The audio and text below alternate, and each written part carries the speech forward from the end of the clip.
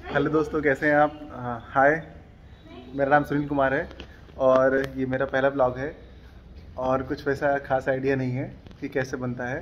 तो चलिए वैसे मैं कोचिंग जा रहा था पढ़ाने लेकिन मैं आपको चलता हूँ। आज बनाने का कुछ खास कारण है क्योंकि देखिए चांदनी क्या बना रही है मैं आपको दिखाता हूँ। ये देखिए आपको दिख रहा है ये? आ, कुछ ऊपर है यहाँ पे कुछ नीचे है और यहाँ पर कुछ है। अभी कुछ खास नज़र नहीं आ रहा होगा वैसे देखिए दूर से दिखेगा कुछ कि ये क्या बना रही है चांदनी।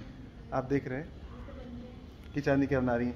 और मुझे लगा कि हाँ देखना चाहिए इनका बनाया हुआ क्यों? क्योंकि उन्होंने कल जो बनाया था, मैं तो पहले बहुत मज़ाक उड़ा रहा था कि कैसी चिड़िया होंगी जो उड़ जाएँगी। देखो, अभी तक बैठी हुई हैं।